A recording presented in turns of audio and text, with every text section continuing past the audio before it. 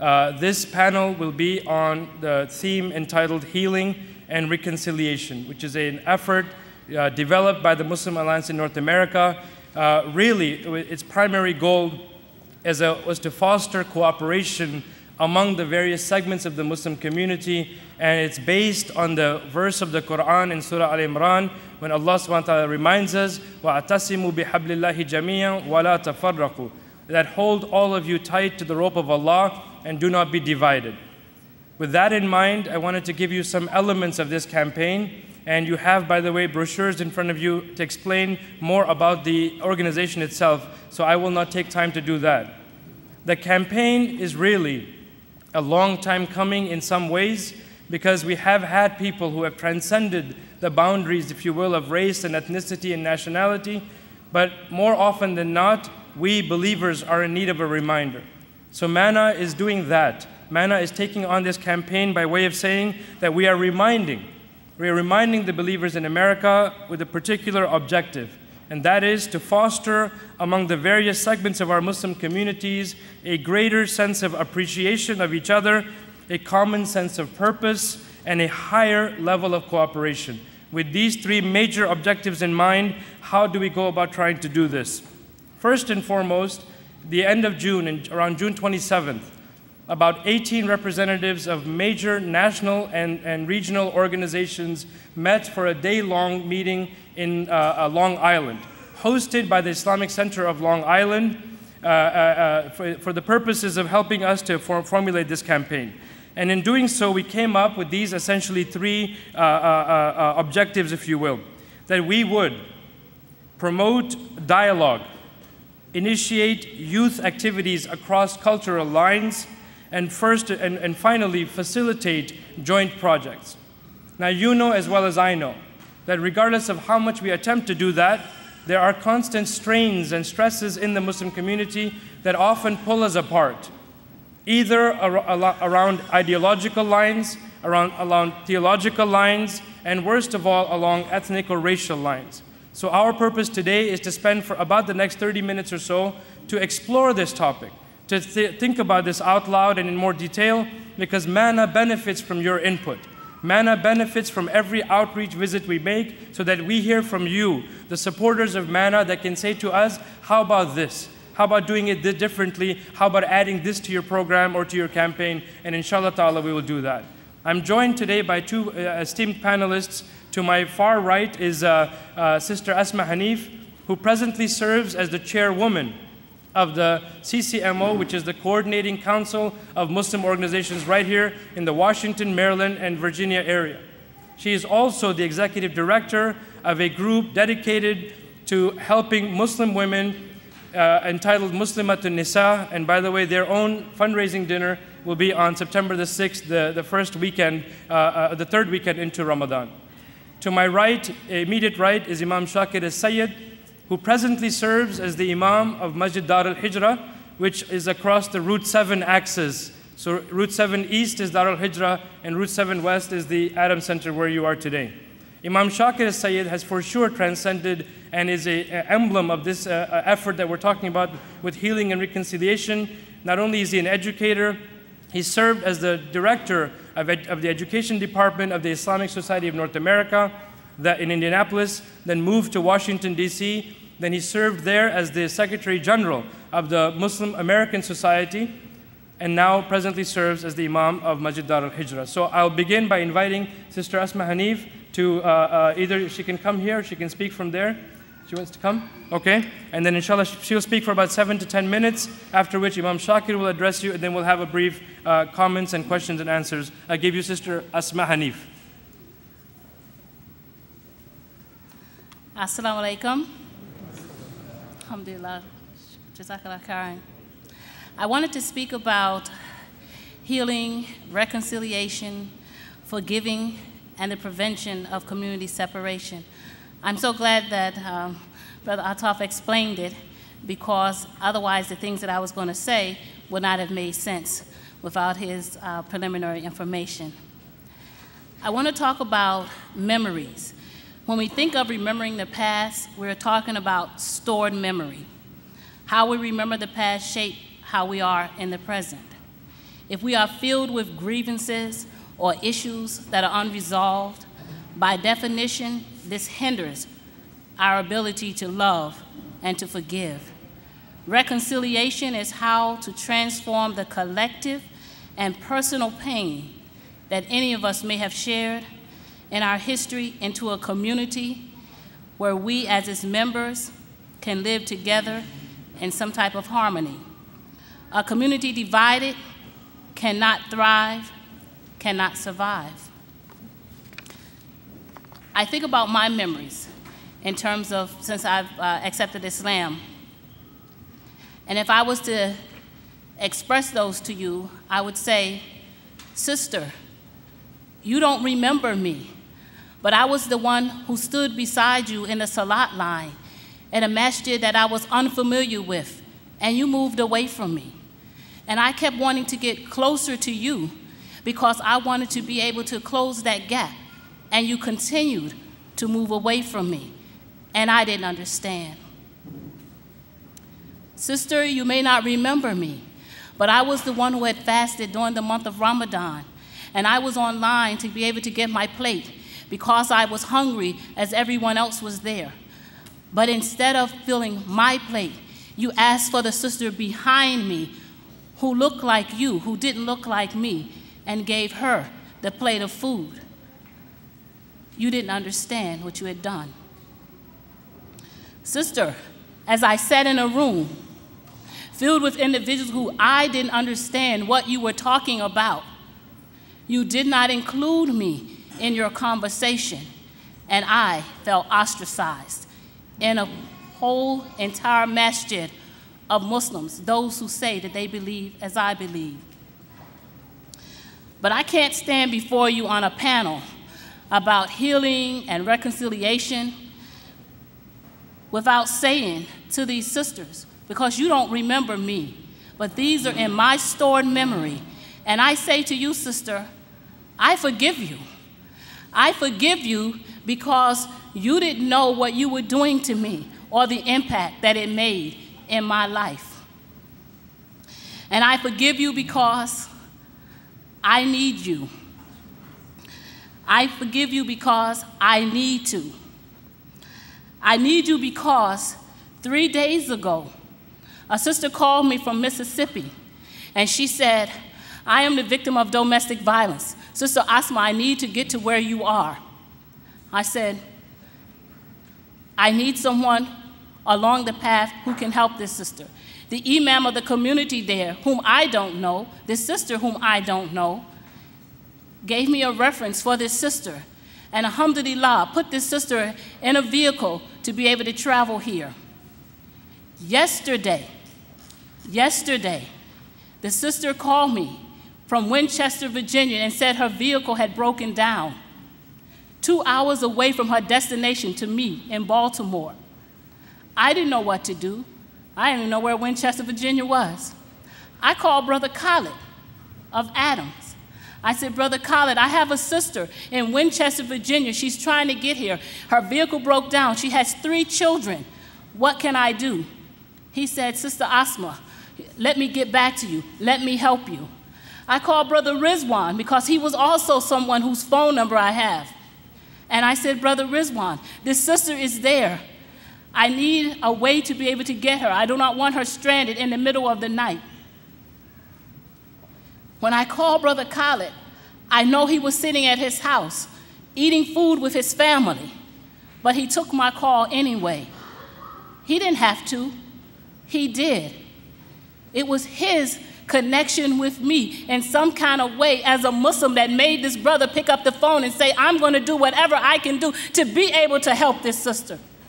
And from there, somebody on this network of Muslims got a tow truck to tow his sister to Sterling, Virginia. Someone on this network of Muslims got a vehicle to put this sister and her children in so that she could then follow her vehicle so she couldn't leave it there because the gas station attendant said she can't leave it here. Somebody on this network of Muslims who I don't know, whom I don't know, gave that sister refuge for the night. We're talking one phone call. Somebody who I don't know brought this sister somewhere around here. I can't even explain to you where to be able to put brakes on this sister's vehicle, which is what happened. Her brakes had failed. Somebody paid for those brakes to be able to be put on this sister's vehicle.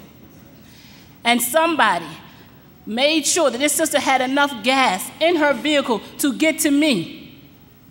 That sister is in our shelter right now because there were people along the way who I forgave, who were part of my community, who I needed to help a sister who I had never met before, an individual who I have no idea of who were involved.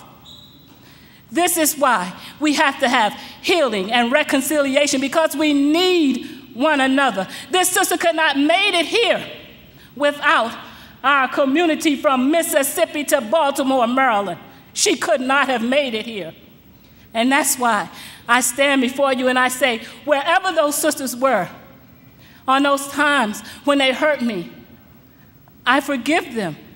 Because had I not, I would not have been able to call Brother Khaled, whom I met since I came here, or Brother Rizwan, whom I met since I came here, and trusted this sister and her three babies in the hands of individuals who I have no idea who they are. All I know is that we need one another. And alhamdulillah, because we have one another, this sister and her children are safe. Assalamu alaikum. Allahu Akbar, mashallah. Allahu Akbar, mashallah. Barakallah fikum, Jazakallah khair, Sister uh, Asma Hanif. And uh, I, as I said in the beginning of this program, it is these kind of heartfelt conversations that will, inshallah ta'ala, begin to take place. They have already begin to take, begun to take place, but it is really, truly the, the belief of MANA that we all together can work and inshallah help to uh, uh, uh, uh, uh heal, inshallah, some of the wounds that may exist. And if not, if people didn't even know that they did something wrong, I remember growing up in Cleveland, Ohio, and, uh, if, subhanAllah, he's still a, a, brother dear to me, a brother by the name of Khalid Abdul Samad. And he was the one who helped raise us when we were young. Remember distinctly being at an Eid, a Ramadan Eid gathering people don't think what they say sometimes, and children hear. And I was only about 11, 12 years old. And I was standing at the, close to the door, and Khalid Abdul Samad is a towering man of maybe about six feet three, six feet four. He was walking towards the door, and I heard one uncle say to the other uncle, Who invited these people here? Remember at 13, at 12 or 13, being so wounded by that statement, so hurt that I stood at that door and I said, Nobody will go past me until someone from here apologizes to this man who never even heard what you said, but I know what you said and I know what you meant. So for me, that, that consciousness was awakened because of my parents, my father and mother, who transcended those lines and who never, who taught us that there were no such lines. And indeed, inshallah ta'ala, with the help of MANA and with other such efforts, we will begin to do that and to really look for a better way a better America, a better Muslim America, so that all of our children, inshallah, can grow up in that, in that uh, uh, shade. I will now invite Imam uh, uh Shaker Sayyid to share some of his reflections on the idea of working together to benefit this community. Imam Shaker Sayyid. Assalamu alaikum wa rahmatullahi wa barakatuh. I am honored to be invited by MANA and be at Adam Center. It's always a pleasure I feel that this is also an extension of our local community here. And we always welcome to see Adams members coming to attend our activities as Dar Hijra members uh, showed up tonight, some of them. Uh, the issue of healing and reconciliation assumes that there are lots of wounds to be healed and assumes a journey to reconcile those differences and gaps and, and gulfs that we see between each other. I can tell you that the Quran tells us unless we heal our own individual hearts, we cannot join them together. You see how much the Quran speaks about unity and love and everything else, it all depends on the individual's own heart. So if I am comfortable as a person, I am likely to deal with others from a position of optimism, hope, and comfort, and as such, radiate those feelings into the people I'm talking with. If I'm agitated and irritated, if I'm always sad and depressed, it also reflects the way I communicate, even with myself and definitely with my family. We need to ask more serious questions about the concept of healing because there is a wound that is deeper than the wound we may inflict on each other. That is the wound that we generate and create by claiming to be perfect Muslims when we know there is no such a thing as a perfect Muslim. We speak even about the muttaqeen as people who are more like angels than humans, very much contrary to what the Quran is saying to us. So we have concepts to fix before we can fix attitudes and approaches. We have more than superficial remarks to be made on that concept healing and reconciliation. And I believe the depth of the issue is in everyone's heart. Everyone can talk from one's own position and put the wounds and the pains. And when we talk out of positions of pain, we end up inflicting pain on the audience as well. But when we take off positions of hope and optimism and charge everybody with the Quran, the Quran says something very simple. Do you want to heal wounds? Do you want to reconcile differences?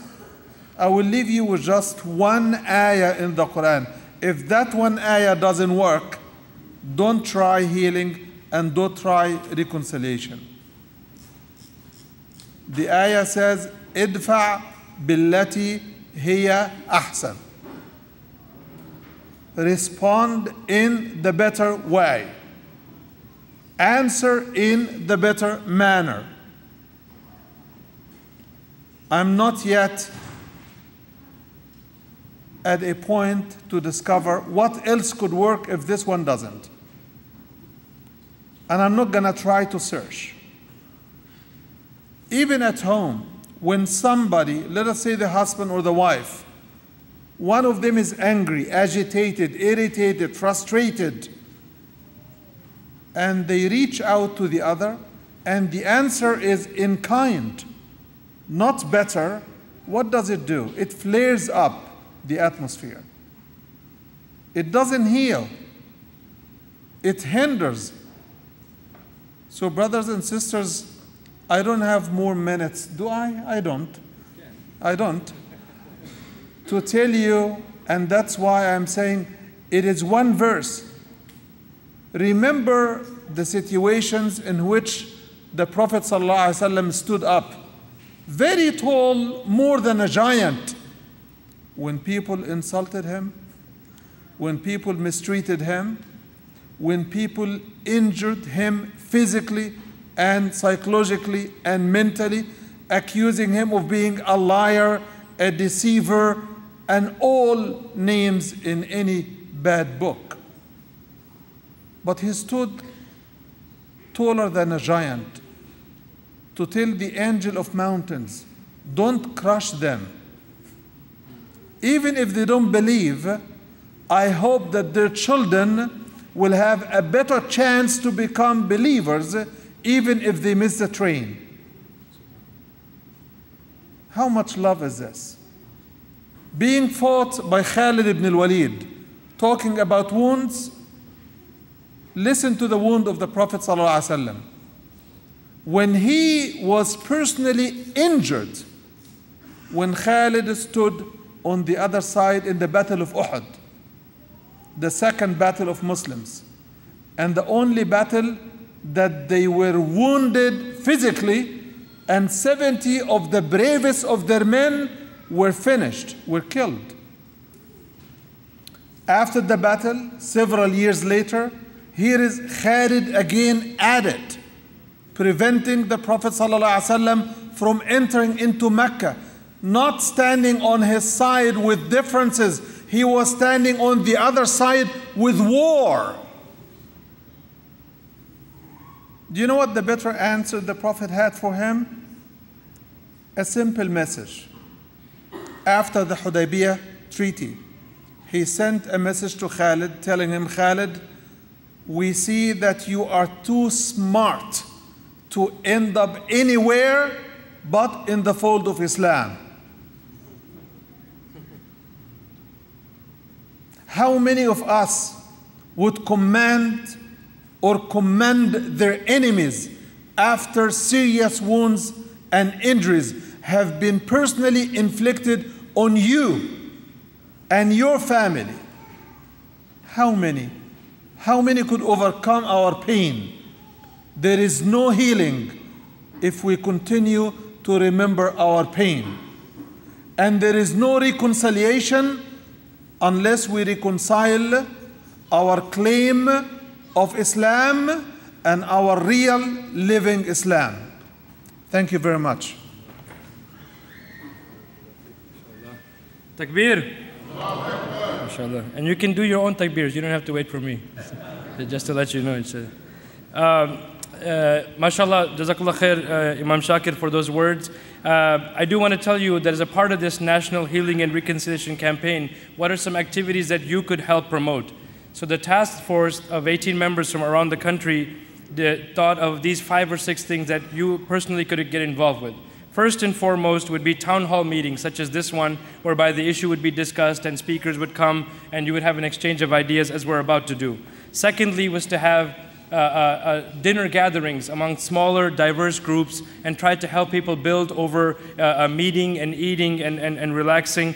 Pairing masajid, which, if you remember last year, if you were here uh, for the Mana event at Adam Center, our beloved Imam uh, uh, Mohamed Magid, who is to the far left, sitting against the wall there, had, had exactly recommended this, and the task force on its own came up with the same idea. He had talked about this notion of pairing pairing masajid uh, from the inner city, from the suburbs, from the rural, from the, from the urban, all of that. And that's another, another thing the uh, task force recommended. Also having what's called the minbar exchange the notion of having khatibs from different masajid coming and giving khutbahs at the different communities so that you could see the, the, the, the, beauty of Islam and the emphasis along the same lines of the same teachings but by different people.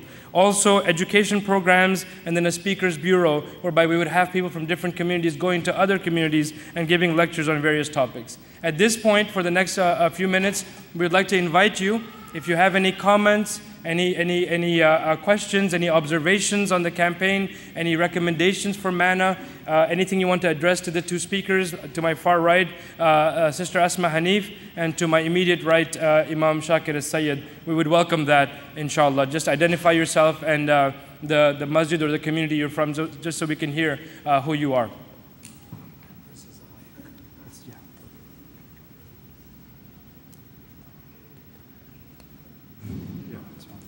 So we have a, a, a wireless mic, and the, uh, the only uh, um, condition that you can hold this mic is if it's a question.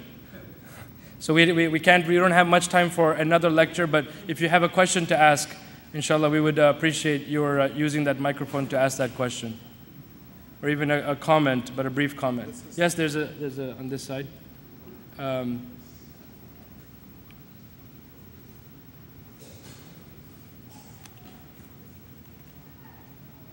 alaikum. My question to the community is when are we going to open uh, shelter for the Muslim women in Virginia? Because we have 70,000 people, Muslims in this area, and we don't have a single shelter. Yeah, that's what I'm going to do. Okay. Assalamu alaikum. Um, that's a question that I'm asked a lot about opening shelters. And um, unfortunately, I would always respond by saying it's not as easy as, as you think. Um, most of us may feel that it's just a matter of having a house and paying the rent and having some sisters to come there. But as someone who has been uh, in the midst of this task for uh, a year now, what you find is that sisters come with varying needs, all right, varying in, in, insecurities and emotional problems as a result of just being homeless in general.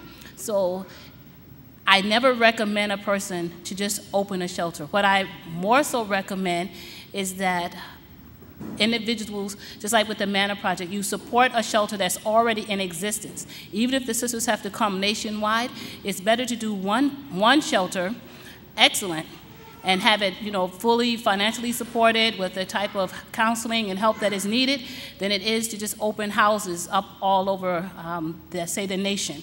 Before I did the shelter, I, what I realized was that um, I did research to find out why they fail. And one of the main reasons was financial support because it's very difficult to be able to get communities to give this type of money, as well as not having the type of uh, social workers or psychiatrists or the different things that people need. So I don't recommend, even though there is a need, it's cheaper. If I should say they're more cost effective, maybe I shouldn't say cheaper, but more cost effective for someone to send a sister from somewhere else to a place that's already stable than to um, give money and open up a place that, mashallah, will not be able to be stable enough to survive.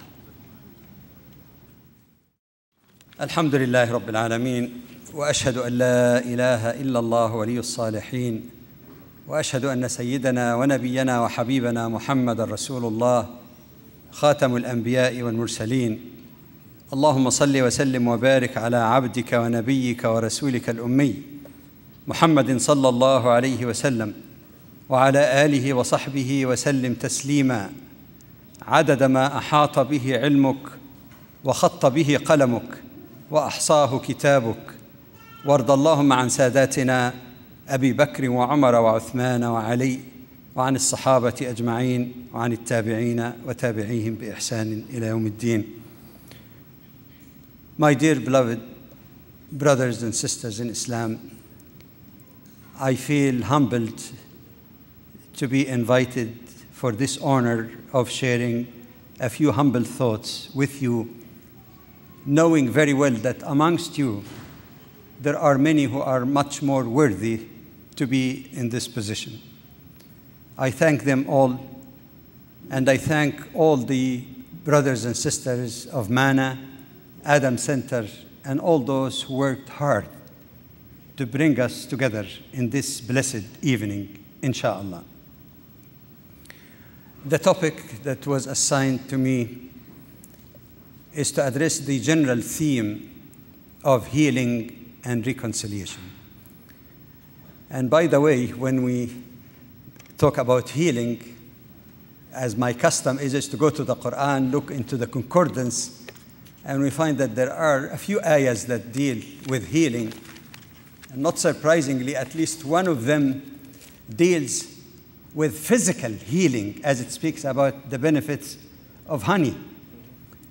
It is in that spirit, even though this is not the focus of this presentation, to pray to Allah subhanahu wa ta'ala to complete the physical healing of my beloved brother and beloved brother for all of us, Imam Siraj Wahhaj, inshallah. Now, standing in this position this evening, I'm not making any pretenses or claims. I'm standing only as a brother among many of yours. And one of the prerequisites and duties of brotherhood is to be frank and candid with one another, including engaging in self criticism.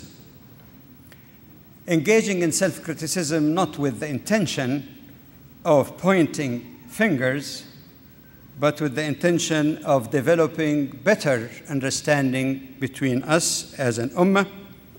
More importantly, to inculcate in ourselves the proper attitude towards each other so that we may think how we can work together as members of the same ummah, the ummah of Muhammad sallallahu alayhi wasallam. And this brings us to the theme, the basic theme of this evening healing and reconciliation. The title to me signifies that there are wounds to be healed and that there are also differences to be reconciled. Wounds that might result from our imperfection as human beings, because as Muslims, we are not identical with Islam. It's a great blessing, of course, to be Muslims, but our behavior at times is un Islamic. We may have many Muslim cultures, but this is not to be equated with the Islamic culture. For, in fact, to the shock of some, there are many un Islamic Muslim cultures. I repeat, un Islamic Muslim cultures. It's called Muslim cultures because it's common among Muslims, but being Islamic is a different issue altogether. Going back again to the title, as the word healing itself implies that there are wounds, the other word, reconciliation, also signifies that there are divisions or differences, some of which require reconciliation so that we can work together as one body for the benefit of all and the benefit of humanity, even at large. But that in itself might raise another question What are those entities that need that healing and reconciliation? Well, if you look at it in a more comprehensive manner, you could say that these entities include the individual, family, there are lots of pain also and wounds, reconciliation that's needed on the family level, so individual level, family, community, on the level of various organizations, reconciliation between people following different valid jurisprudential opinions or ijtihads, reconciliation between various people, even within the same group, let alone between one group or organization and the other, reconciliation on the level of Muslims in a given nation, reconciliation between Muslims and their fellow citizens of other faith communities, reconciliation between Muslim countries, reconciliation between East, West, Northeast. You can really deal with any of those levels as part of the total picture that would come under this title. These levels of healing and reconciliation are all important, but as, and they are actually, in a way, interrelated and interdependent. So even if you focus on one, let's not forget the total picture. But of course, with the time limits that we have for our meeting and for this presentation, I think there is some justification to focus largely on our perceived need for healing and reconciliation as an ummah here in North America, and more particularly, and let's be open about that, between two major important component of the ummah of North America, numerically and in terms of quality and importance. Uh, sometimes people use the term the immigrant Muslims or and the indigenous Muslims. Well, I have my uh, my reservation also about using those terms, and I've been in that position one time speaking uh, in one of the sessions, not the, the Parliament of Canada, but sometimes they support, like the Congress, also some functions. So it was in the in that occasion where um, the speaker, who was a former leader of one of the parties of Canada, uh, speak about how the Canadians, like himself, are welcoming and try to accommodate the immigrant Muslims. After he finished his presentation, I expressed some views. I said that all of us here are immigrants. The only difference is that some immigrants came before the others. And that if the only people who are exempted from that perhaps would be the native Canadians.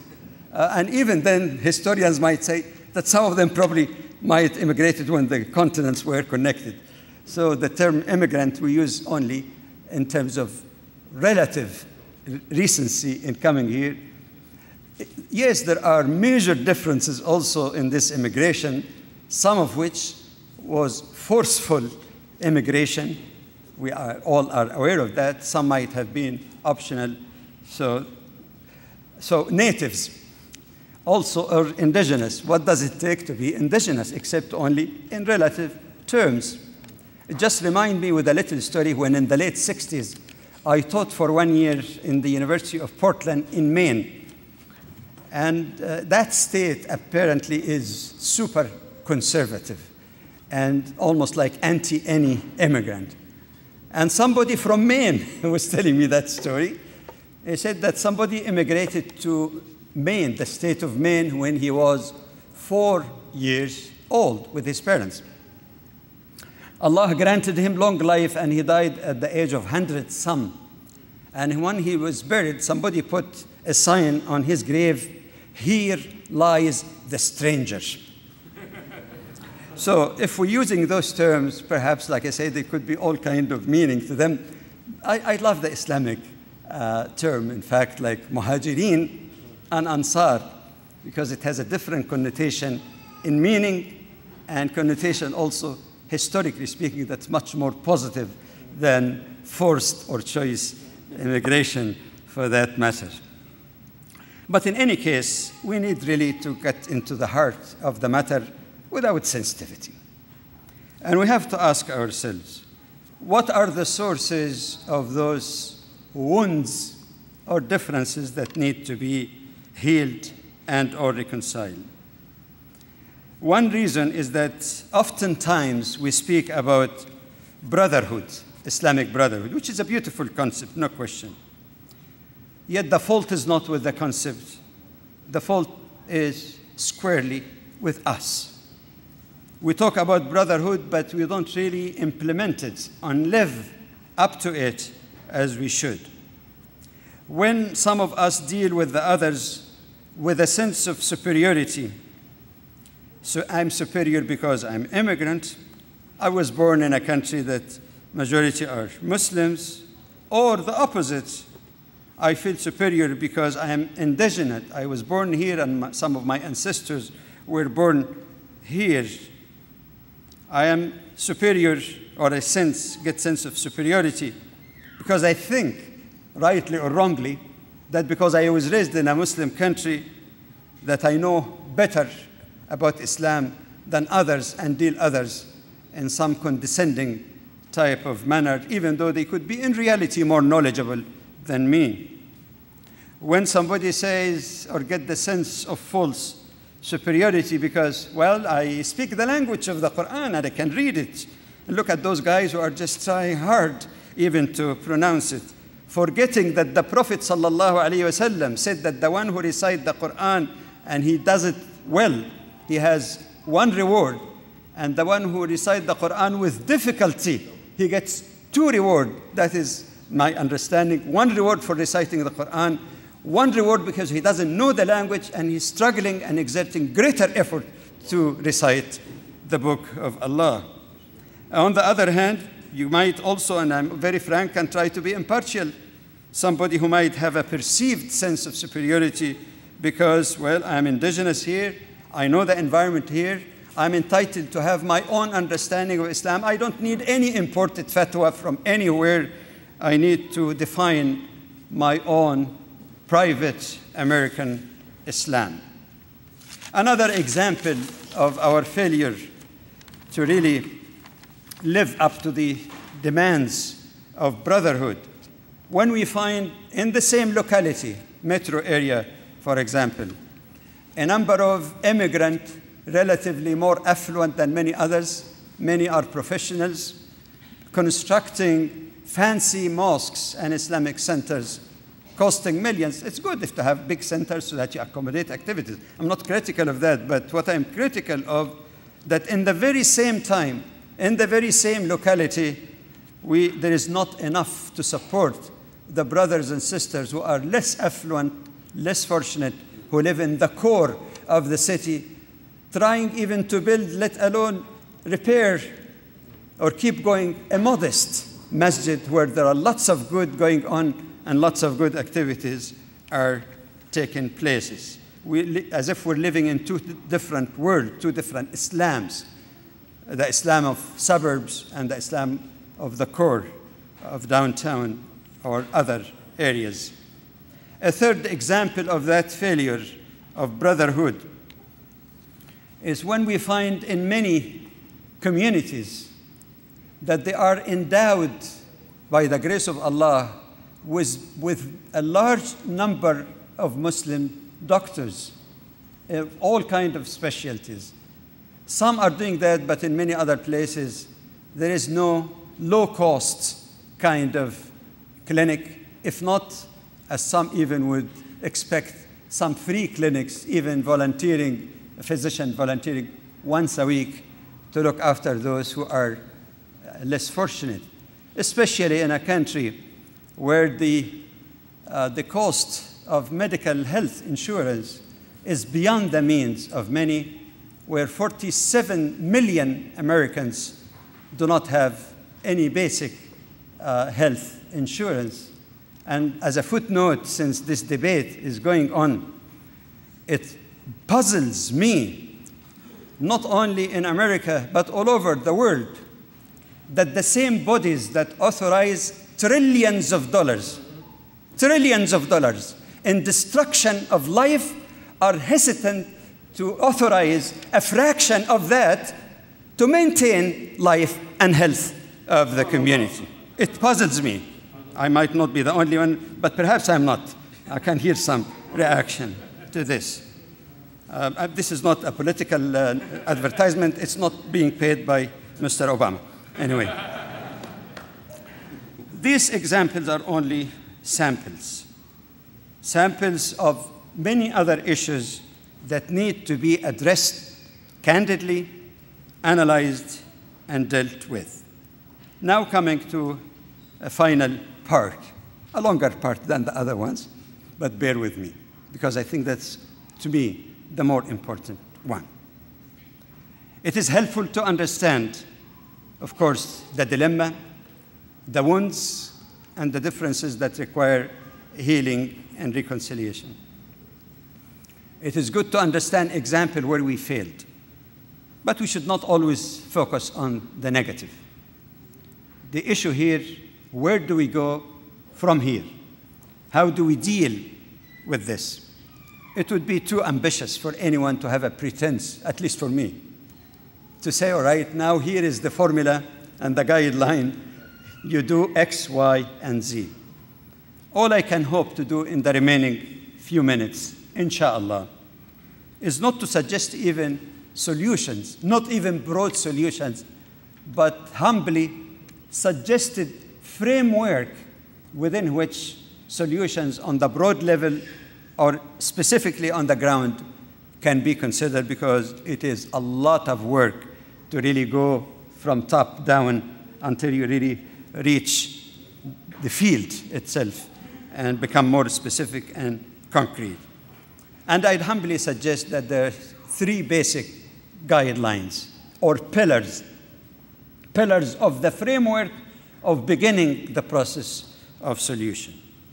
The first pillar is purification, tazkiyah, purifying our hearts examining our intentions. Let each and every one of us, leaders and followers alike, ask themselves constantly, ceaselessly, is my intention truly to please Allah subhanahu wa ta'ala and win paradise? is my niyyah, and we are all humans, have weakness, but how, far is my niyyah tarnished somehow by the desire to get any benefit for myself? Material, leadership, loyalty of others. Is my loyalty essentially to one group, organization, ethnic group, linguistic group, this or that? Or is my loyalty above all to Allah subhanahu wa ta'ala, which provide the underpinning, if not the very foundation and the framework that I could have derived loyalty. There's no problem having loyalties, but it has to be derived above all from loyalty to Allah subhanahu wa ta'ala. It has to be based upon it and it cannot violate this list of priority. Does my intention or is my intention blemished somehow with some sense of pride on the basis of ethnicity, language, nationalism? And again, when some people say new Muslim, what is new Muslim? Everybody is born Muslim. New revert, not convert, revert, coming back to the nature of Islam. Even if we take it in terms of how many years a person have been a Muslim, or somebody who's born a Muslim since he was a baby versus someone who embraced Islam even in his 90s. Let's remember, we don't have a union seniority rosters by mere employment. Even in unions, seniority is not always by the amount of service, but also there could be seniority by different criteria as well. It's not always that the date of employment, as some of you in business are, are aware of this. What does it mean?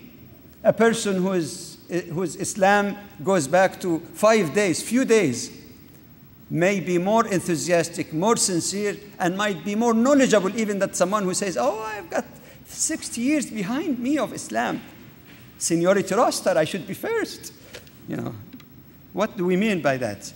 And that's the issue that we really need to answer for ourselves before ask, asking anyone else to answer for us. I started with that particular pillar. Even though on the surface it might sound remote or irrelevant, but no, not really. Without this tazkiyah or this self purification, we would not eh, succeed to inculcate in ourselves the true Islamic attitude. Without that base or pillar, any amount of knowledge would lose its true guiding light. And without that base, the blessings in our effort and work could be voided or at least diminished. The second pillar is to have the correct understanding of the true, beautiful message of Islam from its true original sources, the Quran and the Sunnah of the Prophet. ﷺ. On the basis of this, we can evaluate our cultural baggage, our cultural heritage as Muslims. Not to throw it away, not to worship it, but to classify and discern the type of those cultural baggages, some of which we should be proud of. The cultural practices that are not Muslim cultures, but truly Islamic culture, meaning based on Islamic concept, prompted and encouraged by Islam, such as cleanliness, hospitality, and so on. That's fine. We should be proud of this. We have to realize that there may be other cultural practices. So, this one, for that category, embrace it embrace it fully. Then there is a second category of cultural practices, which falls in the area of permissible. It's not required, it's not mustahab, desirable, it is not makruh, detestable, or haram. It's simply mubah, allowed, permissible. We don't have to have one. We could have diversity. For that category, tolerate it. First one, embrace it. Second one, Tolerate it, live with it. More than tolerate, accept it, because sometimes tolerance also might have some condescending meaning in the mind of some. Accept it, accept at least that diversity. But then there is a third category of cultural practices that goes against Islam, and some people, including Muslims, think it's Islamic, which is not once you test it on the true sources of Islam. What do we do with that category? Reject it. So, one category, embrace it. One category, accept it, live with it. Other category, reject it. You reject it not because you're rejecting your heritage, there's nothing wrong with that. You're rejecting anything that is un Islamic and falsely attributed to the teaching of Islam. We have also to develop our clear vision and understanding of at least the concept that relate more directly to our topic here as an ummah, part of one ummah that want to get together and work hand in hand. That is part also of understanding. I'll just summarize five points or so very quickly. One, to realize that true brotherhood is a characteristic of believers according to the Quran. إنما المؤمنون إخوة. True believers, true between brackets, believers are one brotherhood. So Iman and brotherhood is not just a politically correct statement or just pretense. It goes deeper to the very basis of our Iman. And one clear signs of that Iman, as the Prophet ﷺ explained, أن يحب المرء لا يحبه إلا لله that you love a brother or sister in Islam for no reason except for the sake of Allah. This is that the love between me and brother Siraj, which he expressed and I did express in several occasions in several lectures. What is really common between us? It is the bond of Iman, the bond, the bond of loving each other for the sake of Allah subhanahu wa ta'ala. And the same apply, mashallah, to a dear brother Imam Qasim that I had the privilege to know him recently, but he just struck a chord in my heart, and I felt the same also in his But That's, by the way, this is not uh, something to please either of those guys. You know, the Prophet ﷺ said that actually. Al-arwahu junudun mujannada. He says the spirits of Muslims are like, you know, they can't recognize one another. It says if one believer came to a place where there is a 100 hypocrite and one believer, he will go to the believer, strike a chord with him. And the opposite also is true. So it's, it's not, it's, it's reality. We, we experience, we know it. And alhamdulillah, it is a great blessing from Allah subhanahu wa ta'ala. We have to realize, secondly, that one of the conditions of this brotherhood is not just good, good feeling, but standing up for our brothers and sisters. As the Prophet ﷺ made it clear, the believer uh, the Muslim is a brother unto other Muslims. Of course, the Quran also speaks about brotherhood on a broader level, but we're talking about within the scope of the Ummah. La yazlimu, he does not oppress him. And of course, him means or her. Does not oppress him, does not let him down, does not forsake him. And here I stop and wonder how are we faring as Muslims on various levels? when not only are we failing to stand by those who are hungry, in need, oppressed, suffering all kind of uh, strangulation in terms of even food and medicine. And what are those so called leaders of the Muslim Ummah doing? Snoring in their sleep, failing to take up the responsibility, and shamefully, some of them are helping those who are murdering killing and uh, slowly starve, starving their brother and sisters. And we talk about, oh, we're brothers, we're all brothers. Yeah, alhamdulillah. What, what, what is this type of brotherhood? Brotherhood has its requirement in action, not only in good feeling or good attitude. When we deal with each other in any condescending manner, we forget what the Prophet ﷺ said, بحسب امرئ من الشر أن يحقر أخاه المسلم. Enough evil for a believer to uh, you know, downgrade or belittle his or her Muslim brother. Before I move to the third point, one of the requirements also of the believers, and I love that in the, the plan of the MANA uh, uh, you know, planning committee. I loved it. I knew the hadith, but I learned. I always learn from my brothers and sisters of all ages. I always learn. I, I find it very interesting to be open. The hadith that they quoted, I know it very well. And all of you know it, don't you? When the Prophet ﷺ likens the ummah is like one body. If one part of the body aches, the other body, you know, aches with it. Exactly. And uh, two things I learned. One is that if you look at the various organs of the body, they're not all the same. Mm-hmm. Imagine all your body are eyes mm-hmm. or hands, like oct- octopus, you know. They're different. They feel different. They, uh, you know, they do different functions. Mm-hmm. Th- That's okay. That's part of the diversity, not diversity between people and nations and tribes, diversity within even the same body, right? Yet they're all working together to achieve the health of the body. The other point I loved in the statement that when it's the hadith say if one part aches, the whole body aches with it, which actually implies that special attention should be given to those who are hurting. The wives that are abused, and the husbands sometimes who are also abused, with a, a karate trained wife who لا ترقب فيه إلا ولا ذمة.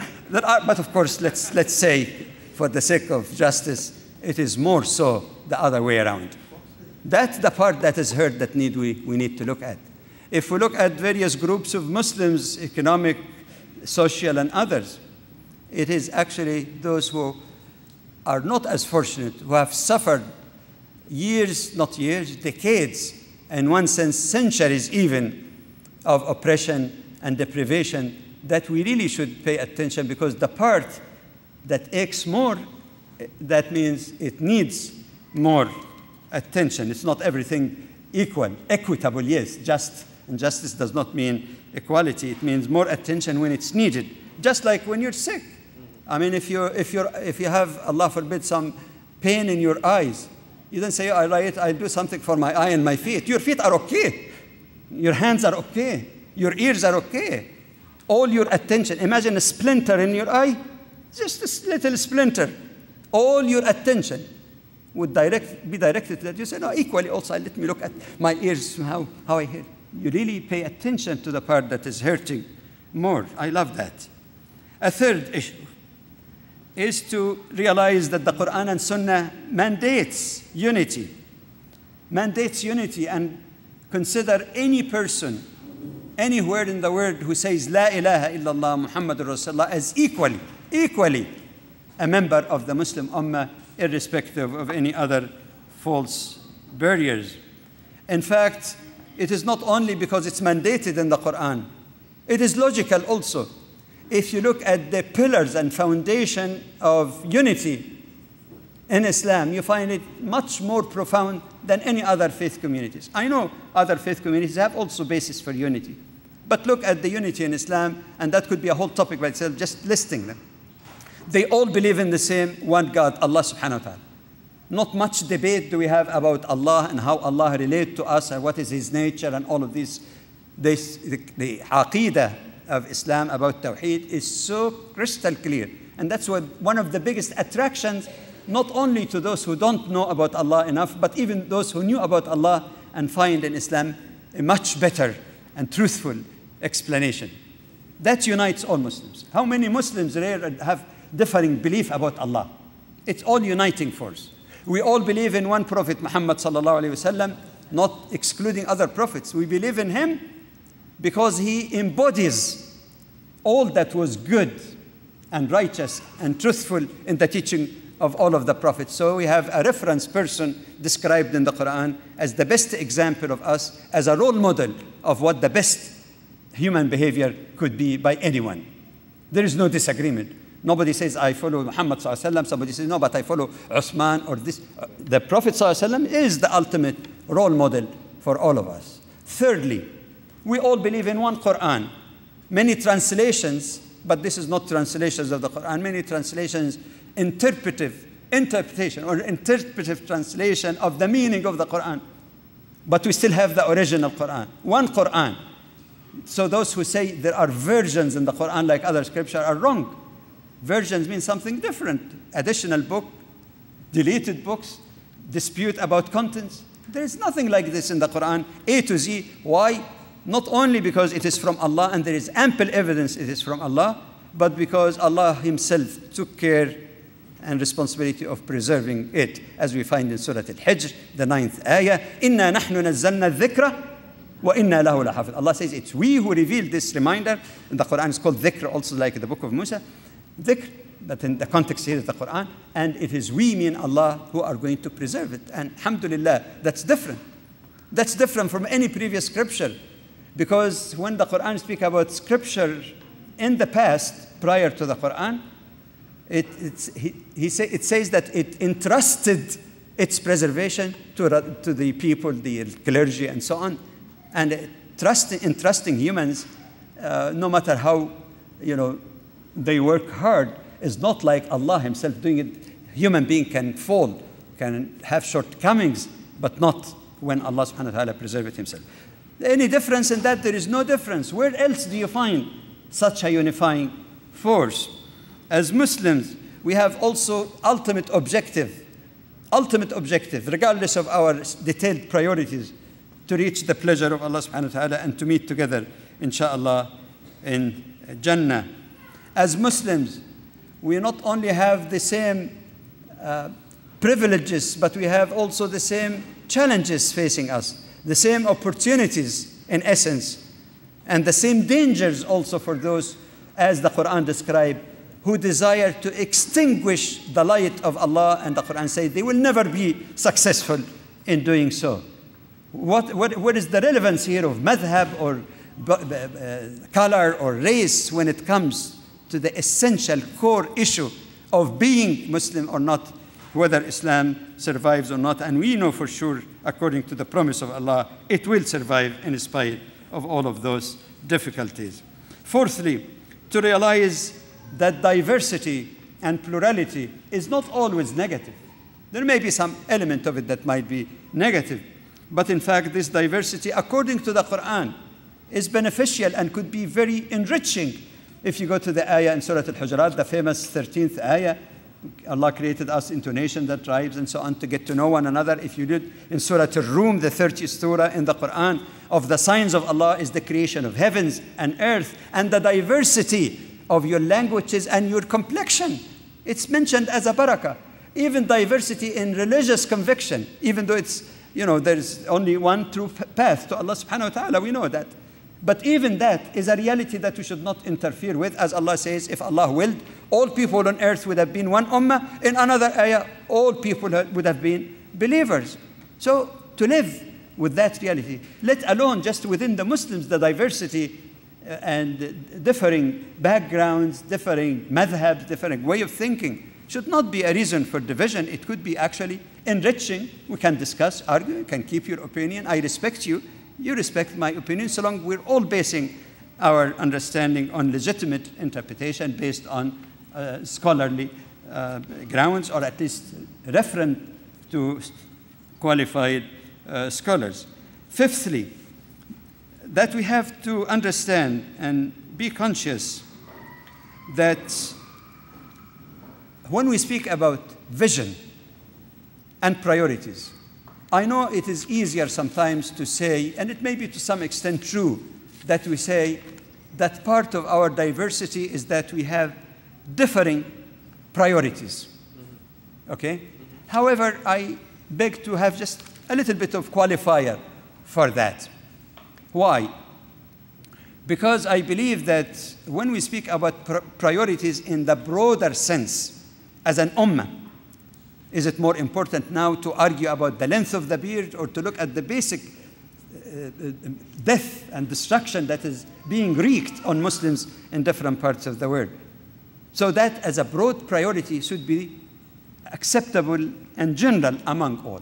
But that does not say that when we come to specifics, that we do have differing priority. And in the past, having observed MSA evolving into ISNA and now, you know, all the variety of organizations, that oftentimes the immigrant Muslims are not totally aware of what, for example, the African American Muslims have gone through and is going through. So the kind of attention and topics and issues that you find in Jum'ah are addressed by immigrant Muslims might be far away from the kind of interests and day-to-day problems, all kind of problems that the other community is encountering day in and day out. I'm not saying because some people are not sympathetic, that some might be, but maybe because they have not gone through that experience. You can hear all lectures all night, but not until you live it. Then you can't really appreciate it. The experiential element of it is not there. It is in that sense then that when, for example, uh, a great Imam, a beloved brother above all to me, like Imam Siraj, uh, you know, led the effort to purify the area around At-Taqwa Masjid from drug dealers and so on.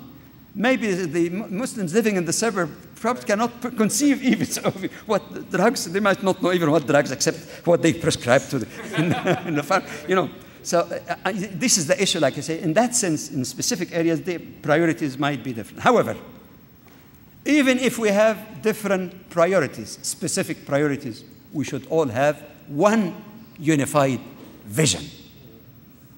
Can have priorities. That's useful. That's fine. People with more expertise in some area, they can address. The others can support them because they know more about these specific problems. But we should have one vision. And we have to realize that the Quran invites us all. It's not a politically correct thing to say unite, unite. We hear it a lot. When the Quran speaks about unity, it presents it as a command and warns us about violating that command As a command, when Allah subhanahu wa ta'ala says, وَاعْتَصِمُوا بِحَبْلِ اللَّهِ جَمِيعًا وَلَا تَفَرَّقُوا Hold tight, all of you, not some of you or a group of you or privileged group. No. Hold all of you tight to the rope of Allah and be not divided. But there are consequences for that division, and the Quran also gives us this warning. وَلَا تَنَازَعُوا فَتَفْشَلُوا وَتَذْهَبَ رِيحُكُمْ وَاصْبِرُوا إِنَّ اللَّهَ مَعَ الصَّابِرِينَ Don't get into disputation. Differing opinion, fine, debate it, fine. But disputation is different. Tanazo, you know, hating each other because we differ in opinion or this or that. No. Because the consequence it says, fatafshalu, you will fail, and your strength will be gone. The third and last pillar, that's a shorter one. You know why shorter?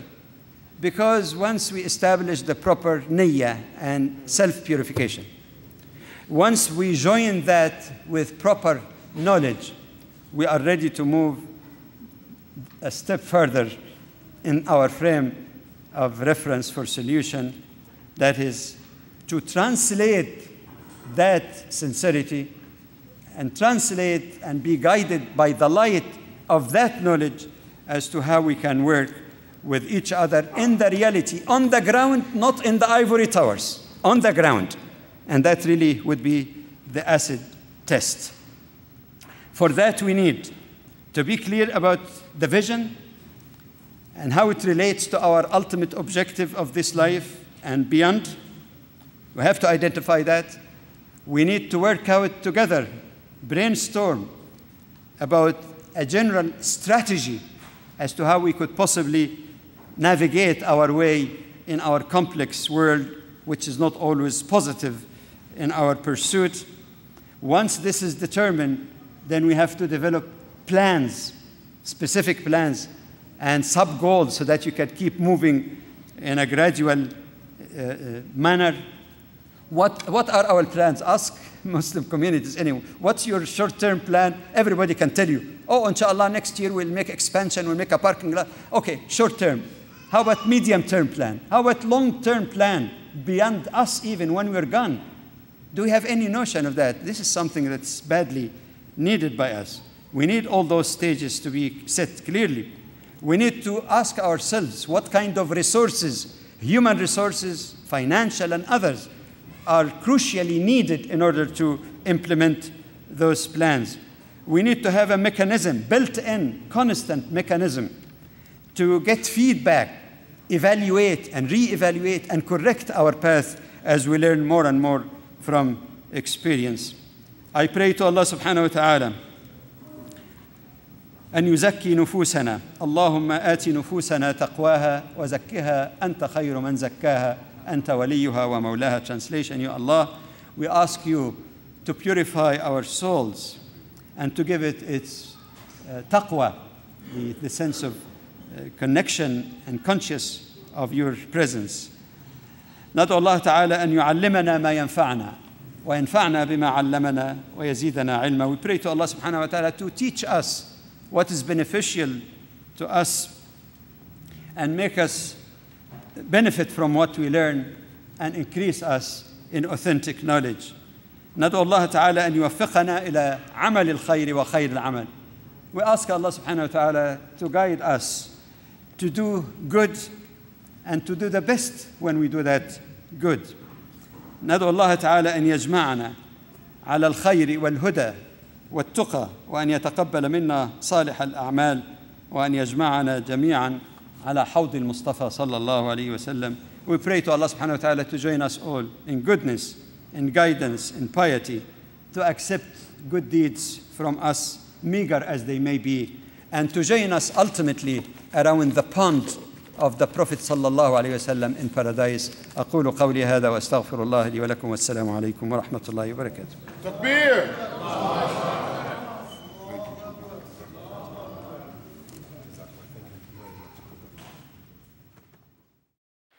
السلام عليكم. بسم الله الرحمن الرحيم. الحمد لله.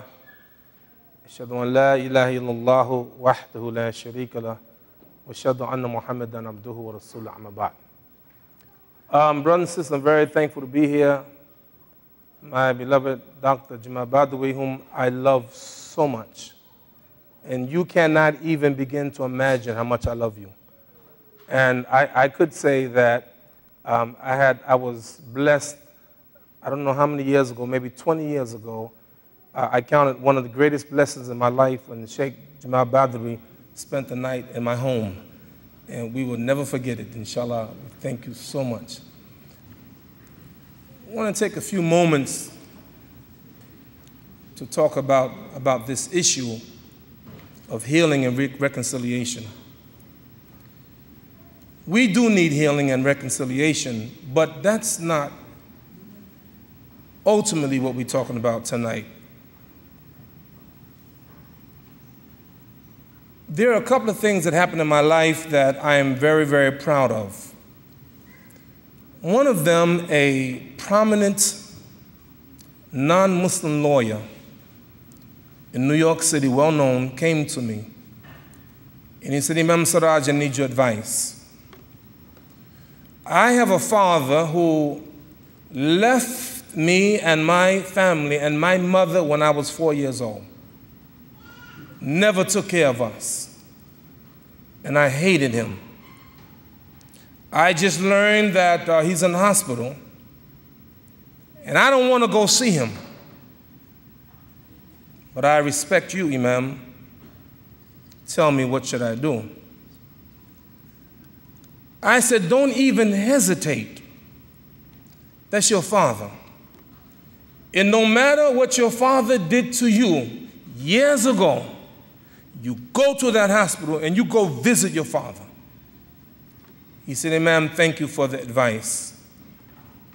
A week later, I had traveled. I came back. He came to me and said, Imam Siraj, I want to thank you because I took your advice. And I went to go see my father after years, and now we have reconciled. We had a case of a sister in my community, her family. I adopted, young sister. I kind of adopted the family. I, I love them and would give them extra time. And uh, she got married to a brother in Syracuse. And it didn't work out, and she said she wanted to get a divorce. She said, Imam, I, I don't like him. And I told her that I saw so much good in this young man. And I, I think you should try to work it out. She said, No, I don't want to work it out. And we did this for weeks. And finally, she decided to give it a try. And that was a couple of years ago. And her and her husband always call me and thank me for trying and bringing them together and helping them to reconcile. Now, one I want to talk about, which is the most important, as Dr. Jamal said, the last. And again, I, this is not, a, it's not something public, but I think you should hear it. I think it's important. It will give us some lessons about this topic of, uh, of uh, healing and reconciliation. How many of you know that I once was a minister in the Nation of Islam? Okay. How many of you know that I was once an imam under the leadership of Imam Warithuddin Muhammad? Most people don't know. By the time most of you knew me, I was an independent imam over Masjid Taqwa. That's all you knew about. But you don't know about Imam Siraj as an imam in the world community of Islam in the West under the leadership of Imam Warithuddin Muhammad. And, and what I'm going to say, I believe it. I believe that anything of good that I do, that Imam Warithuddin Muhammad will get credit from Allah subhanahu wa ta'ala for any good that I do, and I'm going to tell you why.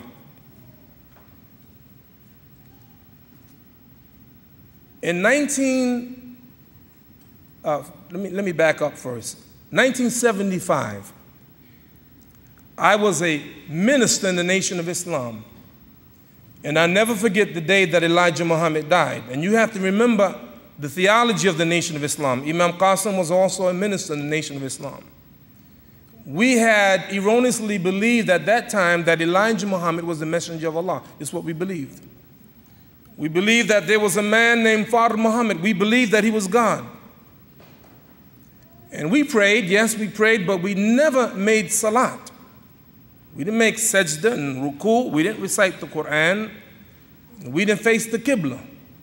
We stood up in the east and we raised our hand, and that was our prayer. We didn't make pilgrimage to Mecca.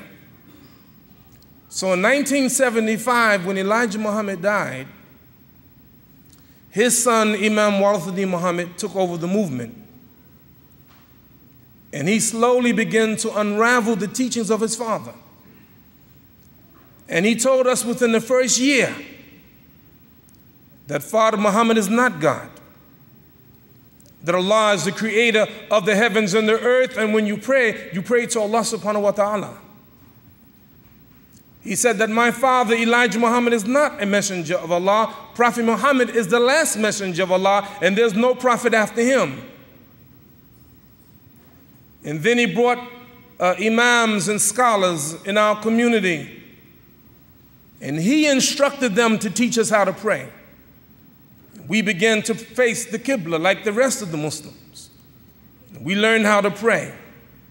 Within the first year, Imam Warithuddin Muhammad took a whole uh, a large number of his followers to Mecca to make pilgrimage. In the Nation of Islam, we used to fast not during the month of Ramadan, but we fasted in the month of December. It was Imam Warithuddin Muhammad said, No, we fast Shahru Ramadan in the month of Ramadan. So, one of the greatest mass conversions ever took place under the leadership of Imam Warithuddin Muhammad, and I was one of them that was blessed to turn my heart around and then begun begin to practice Islam. And I believe any good that I do, that Imam Warithuddin Muhammad will get some of the credit. You said, but Imam, you said that you were once part of his community. Why did you leave? I credit Imam Warithuddin Muhammad for turning my heart to the Quran. I remember one of the teachers that he brought to us was Sheikh Jafar Idris from Sudan. And one day we were in Harlem, and about 25 of his imams were there, and Sheikh Jafar recited some verses from the Quran, maybe 10 or 12 verses. And we taped it. And that was my first experience of hearing the Quran. You can hear my words on the tape saying that's the most beautiful thing that I've ever heard in my life. I have to learn that. And it was there that I began to learn to love the Quran. Imam Muhammad pointed my heart to the Quran to such a degree that I love the Quran and the Sunnah of the Prophet Muhammad, peace and blessing be upon him, so much that I had a nickname in the community of Imam Warithuddin Muhammad. They said Imam Siraj Wahhaj, the Sunni Muslim Imam in the world community of Islam in the West. That was my nickname. And I learned and I love the Quran. And as I begin to read the Quran and to love the Quran and love Allah and love the Messenger, I begin to see what I thought was contradictions. So I would write Imam Warithuddin Muhammad, I wrote him letters, and I wrote him a 30 page letter, not in any mean spirited way, asking my teacher, help me to understand this. 1978, some of the Imams of Imam Warathuddin Muhammad was blessed to go to Naperville, Illinois for a 40 day Imam training program. There were 100 Imams there. I was blessed to be one of five to be chosen to continue my Imam training in Mecca. And I went to my leader, Imam Warithuddin Muhammad. I said, Imam, I was chosen to go to Mecca to study. I was his Imam over masjid in Brooklyn, Masjid Muhammad, Masjid 7C. And I said, Imam, I would love to go. If you tell me that I can't go, I won't go. But I want to go. I really want to go. And Imam Muhammad said, Go ahead. When I went to Mecca, Allah blessed me. It was a life altering experience. It changed my life. I learned so much. I grew so much.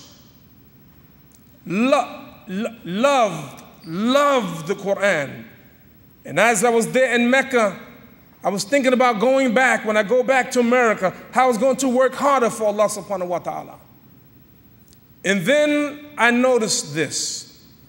When I would prepare my khutbahs for Friday, I would write verses from the Quran and Hadith, and then I said, I have to say something about Imam Muhammad. I, I noticed that I was drifting away from the teachings of Imam Warithuddin Muhammad. I'm not saying anything bad about him, but where my heart was, my heart was Quran and Sunnah. That's what I wanted. I didn't want nothing else. And then I began to teach everything that I learned in Mecca, I taught there in the masjid. And then I noticed that there was beginning to be a, a division in the masjid. I noticed it. Therefore, I called Chicago and I said, I have to speak to Imam Muhammad. I have to come there to Chicago to speak to Imam Muhammad. And the secretary told me that Imam, the Imam, Imam can't see you this week. I called back and said that please let the Imam know that I'm coming to Chicago and I will not leave until I see the Imam. He called me back and said, The Imam said he will see you Friday. That Friday, I'll never forget, Imam Warithuddin Muhammad did the Jummah khutbah in Chicago. And after, the, after the, the khutbah, he saw me in his office and I said, Imam, I thank you for everything that you've done for me. You put me on the right path. But I have divided your community. I am responsible for have divided your community for I'm not teaching your teachings. He said, Well, what is it, Imam? And I began to tell the Imam the differences, how I understood the Quran and Sunnah. I won't go into details. But he told me, Imam, it's okay. You can have these differences and still be my Imam. And I said, Imam, I can't. I, I don't have the conviction to do it. So, Imam Muhammad, I said, How should I do it? He said, Well, you go to the community and you let them know, do it in a good way, and then he came to New York. The day that I resigned, he was there and he spoke. I spoke and he spoke. And he said, Some of you thought that you would have a fight here. But I'm letting you know that Imam Siraj has done an honorable thing. What he has done is honorable. There were some people there, many people, it's taped. And then that day, it just so happened to be July 4th weekend. the first of Ramadan, all in one. Now, about a year after that, in the khutbah, I said some unkind things about Imam Wardi Muhammad I should not have said. I've regretted it. This is some 30, 31, 32 years ago. After that, I begin, as I begin to study more and go around the world, I would always make sure every week that I would get a copy of the paper, the uh, Bilalian News and the, uh, the Journey, the Muslim Journal, and, and I would read every week to always monitor the community to see where the community was going, always, because my heart was always there. My heart never left the community. And even though one day I said some unkind things about Imam Muhammad, I still loved him and I loved the community.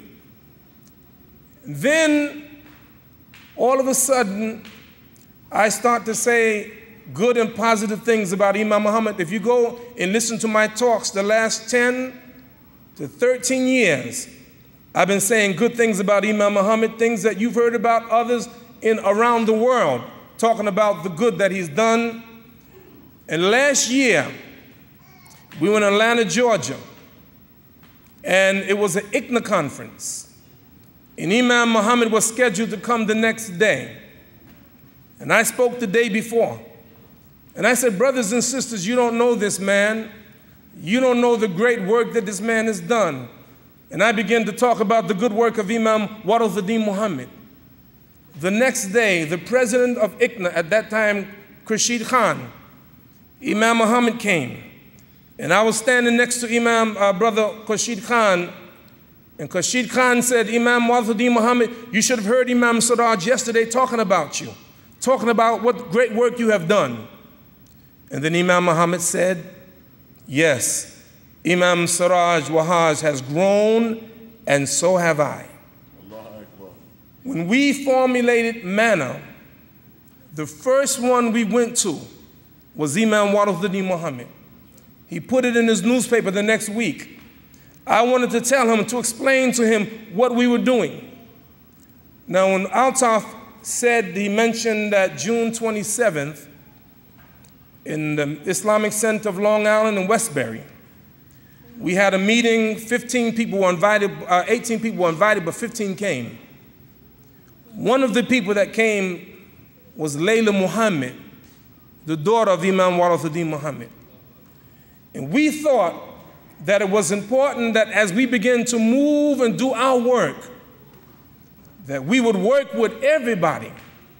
And let me tell you something, brothers and sisters. You talking about reconciliation? Me and Imam Muhammad reconciled years ago.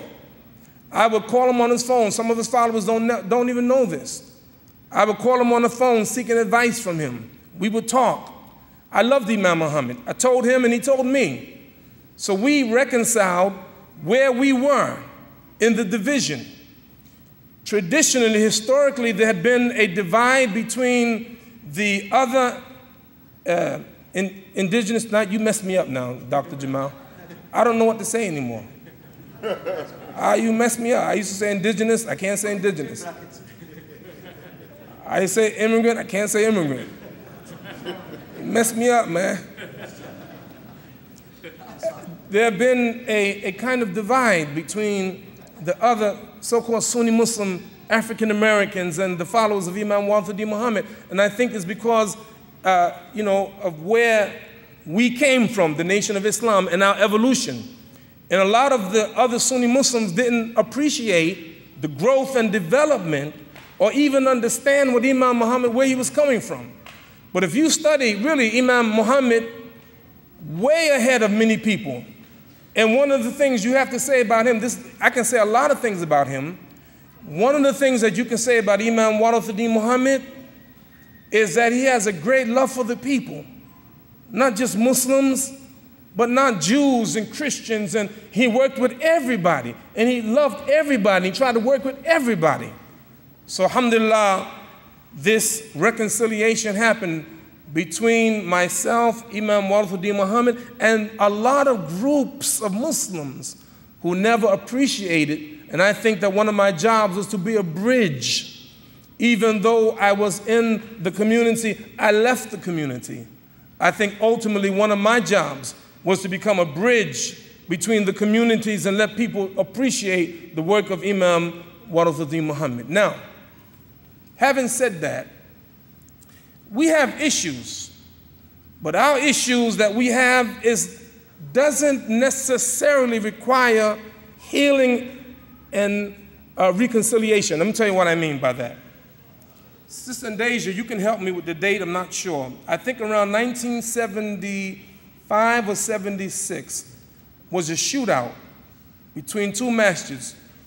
Dar, Dar, that's what, that was your masjid, right? Dar Salam and, and Masjid of Islamic Brotherhood, MIB. What, huh? Yasin Masjid, yes. What year was that? About 75. These communities, Muslims had a shootout that resulted in the death of four people, two on each side. And there was hatred between them for years. And just now, they're beginning to reconcile. I don't need to reconcile with Dr. Jamal Badawi. That, that, Dr. Uh, uh, um, Shaker, Elsayed, you mentioned something that Jamal didn't hear when you spoke before Dr. Jamal came. He said the same thing that you said.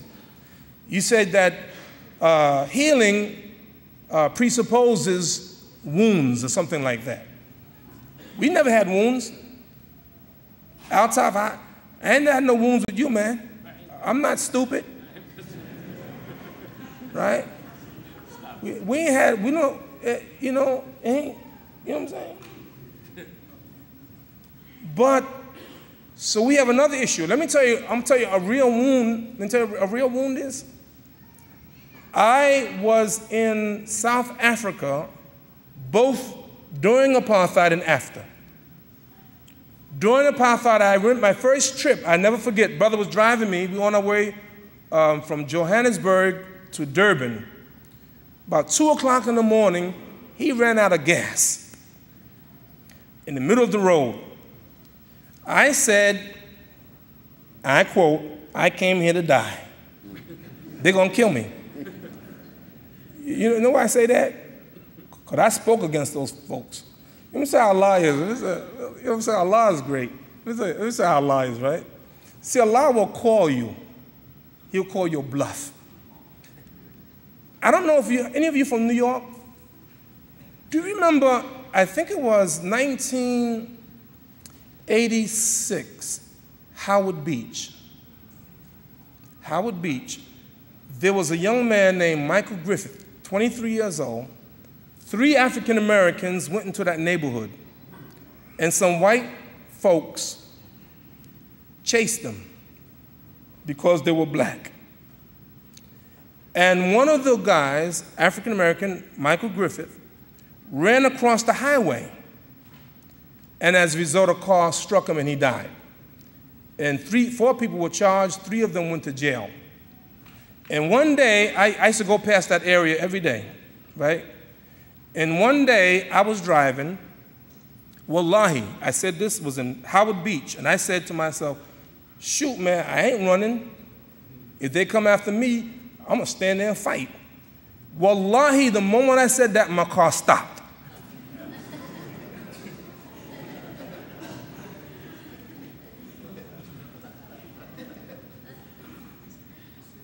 I said, okay, Allah, I got the lesson. You can start the car again. Allah test you. Allah test you. You talk, Allah test you. But in South Africa, the apartheid and how African American, uh, how Africans were treated, blacks were treated there. One of the great heroes that everybody talk about now, Nelson Mandela, 26 years in prison 26 years. And when he came out of prison, you would have thought he would be bitter, but he wasn't bitter. Two years later, he wins Nobel Peace Prize. Two years after that, he becomes the president of South Africa. And then he goes all over the world getting great respect, and he never got bitter. Muslims are never bitter. You know, I used to work, Dr. Jamal, I used to work in a mental health clinic. And I had a supervisor, a Christian named uh, Dr. Stevenson. And one day, Dr. Stevenson said to me, Oh, Siraj, you know, I, I, I finally figured out why you Muslims, you're never happy. You know, Muslims don't smile. He said, Because I just realized, I just found out that Muslims only have two holidays. we, got a lot of we got a lot of holidays and we always happy. Muslims are never happy. Now, I, I, I beg to differ with you. Muslims are happy. Muslims, I mean, brothers and sisters, if you understood the sunnah of the Prophet, peace and blessing be upon him, you'd be smiling all the time. I remember, you remember Al-Isra al-Mi'raj when the Prophet went, went to Jerusalem and then he went to the heavens? He said to Jibril alayhi salatu wasalam, I noticed that everybody I met gave me the greetings and smiled at me except for one. And Jibril said that was Malik, the angel of the hellfire. He has never smiled since Allah created him. And if he would to, were to smile, he would smile at you.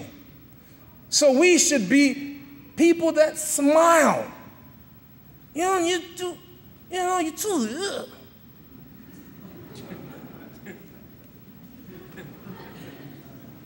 Now, brothers and sisters, let me try to wrap it up.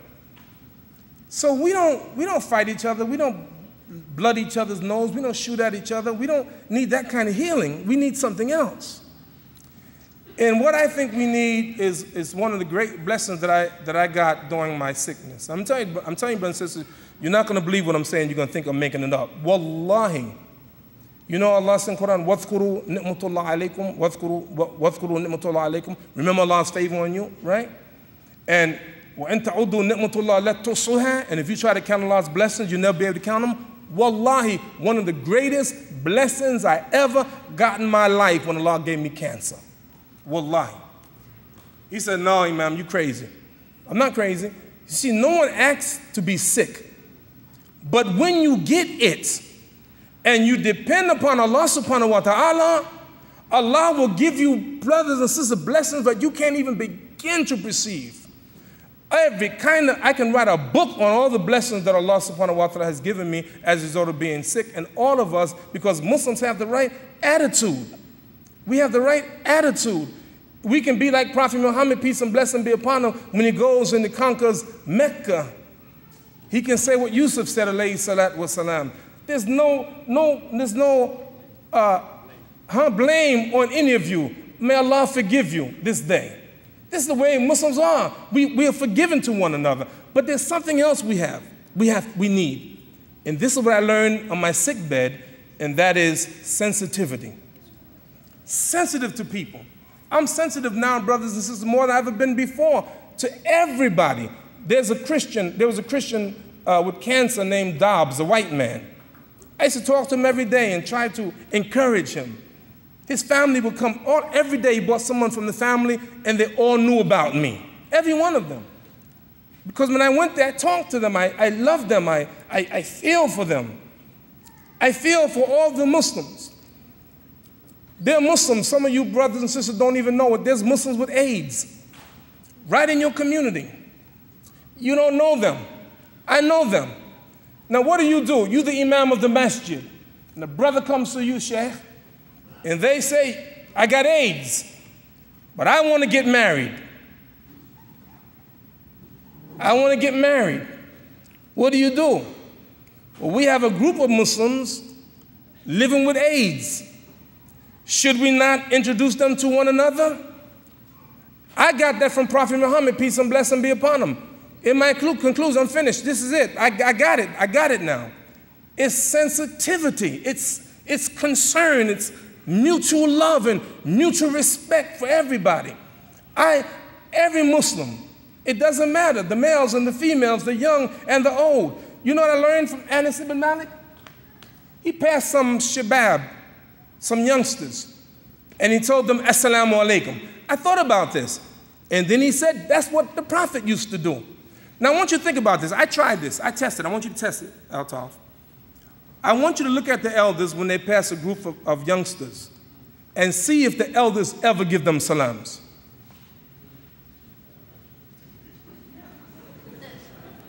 Hmm? Can you imagine? Little guys playing, and the prophet said, Assalamu alaikum. Alaikum salam. It's concern. And the prophet, peace and blessing be upon him, said that sometime he goes intending, he stands up for salat, intending to read a long surah. And he hears a baby cry. And he shortens his prayer because he don't want to put the mother in any burden. Sensitivity, being sensitive. And now I feel we, we should feel sensitive to everybody, every Muslim, uh, sister from uh, uh, uh, Iran. We should, be, we, should, we should do something. The, the brothers from Holy Land Foundation and other political prisoners, prisoners, we should do something, not just say something. First make dua and, and then do something. So, brothers and sisters, all we have, all MANA is, is an, an effort to do some good work. That's all to try to work together as Muslims so that we can achieve some goals for all of us, all of the 7 million Muslims in America, inshallah. That's all it's all about. And finally, I figured it out. Dr. Jamal, I agree with you. But by, by the way, I, by the way, I've never disagreed agreed with you publicly. Never. But I just want to, and, and, you said it, you clarified it, but I do think it's, a, it's, a, it's, it's maturity to recognize that some Muslims have different priorities. It's nothing wrong with that. I mean, in other words, in terms of what resonates for that, as you said in your, in, in your talk. So, and, and, and, the reason I'm saying that is because something that happened to Imam Talib. He was in a meeting with some immigrant Muslims. And they were talking, uh, an organization, they were talking about their priorities. And they listed one, two, three, four, five, six, seven, eight, nine, ten. And number one was the biggest priority, highest priority. And number 10 was the least. And they said, Imam, what you think about this, this list? He said, Well, if it were in my community, what you have as 10 would be one for us. And what you have one would be 10 for us. So that's okay. That's, that's, that's like maturity. Because where we are, people have different needs and different concerns and uh, like that. And that's why I say politically, it's important for Muslims to sit down together and say, okay, what kind of agenda can we put collectively that's going to benefit most of us or the majority of us? Last thing, I got it, I'm finished. I'm going to bring Qasim, come on. I'm going to bring Imam Qasim up. We got a couple minutes before Salat. And, and the, the reason I'm standing him up the reason that I'm standing him up, he's a money man. I'm not a money man. I don't know how to raise money. What? What? Uh, what are you talking about? But let me tell you, you know what I learned, Dr. Jamal? Muhammad, Sanusi, you know what I learned? Let me tell you what I learned. Dr. Magid, you know what I learned? Unity ain't up to us. Don't misunderstand me. Don't, don't, don't misunderstand me. I bear witness what Allah subhanahu wa ta'ala said in the Quran. أعوذ وألف بين قلوبهم ولأنفقت ما في الأرض جميعا ما ألفت ما بين قلوبهم ولكن الله ألف بينهم إنه عزيز حكيم and he Allah joined your hearts together not if you spend all of the money on the earth Muhammad, Allah is speaking to one man. It's, it's ambiguous in English. You is ambiguous. you could be you male, you female, you all. But in Islam, Allah subhanahu wa ta'ala, you is very clear. You anta, alafta. You, Muhammad, could not have done it. Allah did it. And you know what I learned from that? The key is why did Imam Muhammad and the rest of the Muslims come together? What brought their hearts together? It was Allah subhanahu wa ta'ala because we followed the thing that brings us the unity. وَاعْتَصِمُوا بِحَبْلِ اللَّهِ جَمِيعًا وَلَا تَفَرَّقُوا وَاذْكُرُوا نِعْمَةَ اللَّهِ عَلَيْكُمْ إِذْ كُنْتُمْ أَعْدَاءً فَأَلَّفَ بَيْنَ قُلُوبِكُمْ فَأَصْبَحْتُمْ بِنِعْمَتِهِ إِخْوَانًا And you were, you were enemies, and Allah joined your hearts together. That's the key because we follow the same thing, the Quran and the Sunnah. That's the key. And if we do that, inshallah, Allah will join our hearts together. This brother is going to talk to your heart for a couple of minutes and ask you to give a couple of dollars, inshallah. Assalamu alaikum. Allahu Akbar. Allahu Akbar. Allahu Akbar.